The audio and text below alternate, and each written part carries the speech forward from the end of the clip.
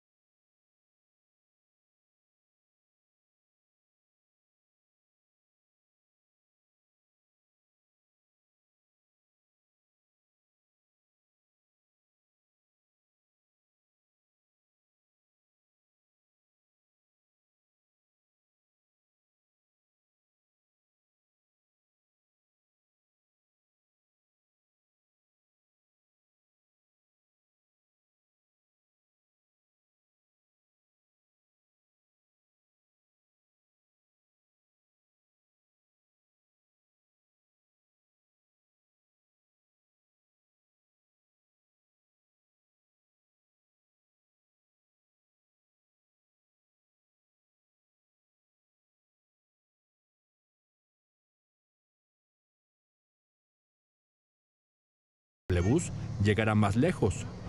Sí, aquí tengo que hacer un transbordo para llegar más arriba a Santa Fe. Me hubiera gustado que hubiera llegado igual a lo mejor al centro comercial, que hubiera sido muy excelente porque es una vía alterna para los que venimos de Coajimalpa. Eh, sería como ahorita cuestión de probar qué tan viable es y ya después decidiré si es una buena alternativa o no la Secretaría de Obras y Servicios invirtió unos 2.405 millones de pesos para la construcción de esta nueva línea de teleférico. Pero para algunos usuarios, la experiencia de disfrutar la vista panorámica es invaluable. También más relajante, el paisaje es relajante, sí, ayuda. En cambio, ir en el micro. Ay, no, ay, no, sí, aquí está más agradable. Pero es muy padre, porque se ven cosas que no podemos ver cuando vamos por tierra. ¿no? El paisaje es impresionante y se nota que todavía hay bosque, que tenemos área verde, la cual hay que cuidar. Ay, pues la verdad súper rapidísimo, nos hicimos 25 minutos. Este, pues la verdad me sorprendió mucho la vista.